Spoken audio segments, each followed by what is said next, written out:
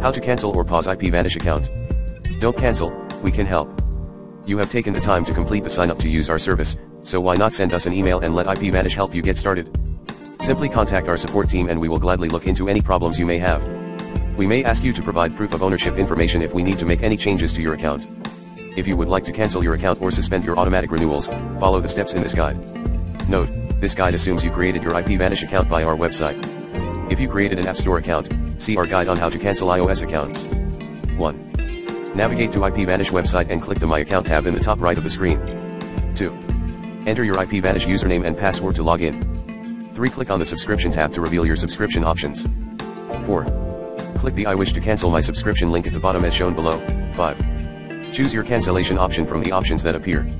1. Stay protected, click this button if you changed your mind and you do not want to cancel your IPVanish access. 2.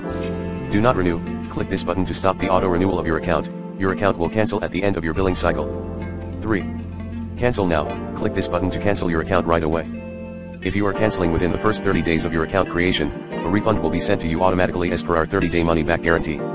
If you have questions regarding refunds, see our refunds policy. 6. After choosing your desired option above, follow the screen prompts and questions carefully to complete the process.